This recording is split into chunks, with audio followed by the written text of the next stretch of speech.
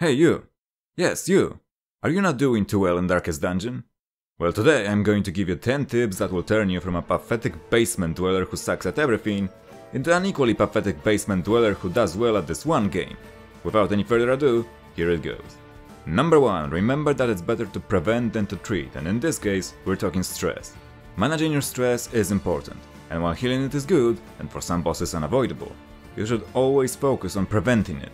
One way to do it is to equip your heroes with stress reducing trinkets, but remember that stress reduction caps at 80% and will not go further. One of the most efficient strategies is to use the Man at Arms ability Bolster, which, if you have the Color of Madness DLC installed, you can use several times in battle by using some space okay I mean, the Shard Dust. Just remember not to go overboard, your Man at Arms is going to suffer from some penalties.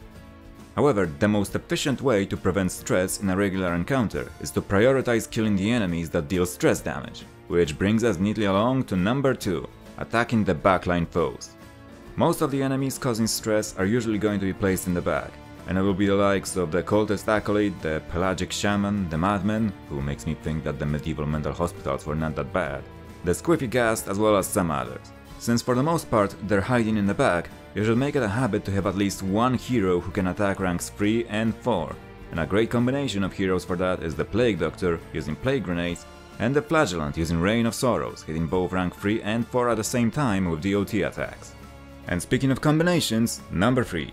Pick heroes for a journey according to their synergy together and their strengths. Basically, sending a Flagellant, a Hellion, a Houndmaster and a Jester into the ruins is a good way to get your party wiped out. All four of them heavily rely on bleeds, and skeletons can't bleed. The Houndmaster being a character that uses markings is at a disadvantage because no one else can use marks or benefit from them. However, if we send the same team to the Warrens, things will look different all of a sudden. The Swine are very susceptible to bleeds, the Houndmaster deals extra damage against the Beast-type enemies, the Flagellant can use his Rain of Sorrows against many pesky enemies in the back, and the Hellion deals 33% more damage to bleeding enemies upon getting a crit, and you can increase the crit chance with Jester's Battle Ballad. Furthermore, a great combo strategy is revealed. The Jester can use Inspiring Tune on the Flagellant to reduce his incoming stress, which the Flagellant can then utilize by absorbing other characters' stress with Endure. Number 4. Same as with heroes, pick your supplies depending on where you go and who do you have on your team. You'll need more shovels than usual when in the Weald due to how long its dungeons are. The enemies in the cove pretty much never use blight attacks, so there's little reason to bring anti-venom there, However, many enemies you meet there use bleed attacks, increasing your need for bandages, especially if you're this poor sad. Other than the cove, you'll generally always want to carry a stack of both anti-venom and bandages, although your demand for those can be decreased, though not nullified. By having a plague doctor use battlefield medicine, or using holy water to increase your resistances. Also, always, always, always take at least 12 pieces of food for the apprentice level dungeons, 16 for veteran and 20 for champion. Unless Number 5. By using appropriate item on a curio, you can gain huge advantage. By using medicinal herbs on a makeshift dining table and dinner cart in the Warrens, you can gain a huge amount of food, and you'll find this rather often.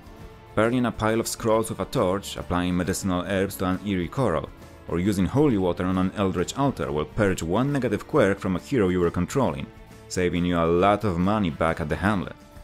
A confession booth and many others can heal stress when holy water is applied to them, and a bone altar provides free bonuses without even having to use an item. If you can afford to, experiment with Curios, but don't do something stupid by mistake. Number 6. This one may be slightly controversial to some, but I think it's a good idea to always have either a dedicated healer, like the Vestal or the Occultist, or a minor healer that's boosted in some way, like the Antiquarian with trinkets that increase her healing abilities, coupled with the Arbalest or Musketeer whose abilities increase the amount of healing received.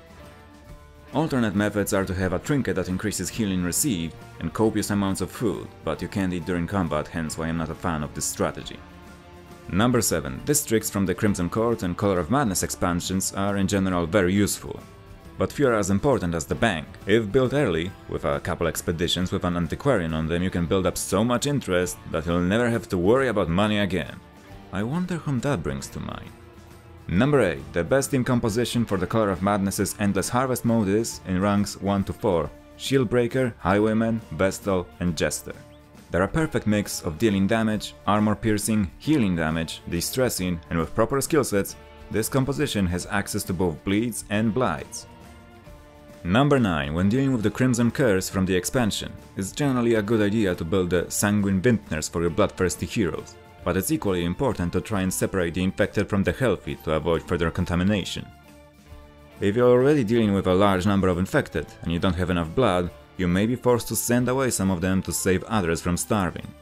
Also, do not delay venturing into the courtyard once someone is infected, for it's the only way to live the curse and learn how to cure it in the future. On the flip side, once someone already has the curse, you can send them into the courtyard without having to worry about them getting infected. Always something. Number 10 and most important. Have fun.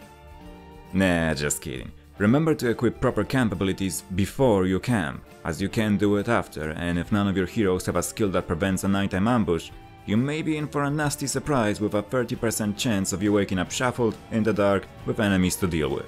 Needless to say, it's a good idea to have a party member with skills that prevent those on longer quests. There you go, 10 tips that hopefully will make your experience less miserable. But remember, no amount of tips will help you if you can't manage your own stress. This is no place for the weak or foolhardy.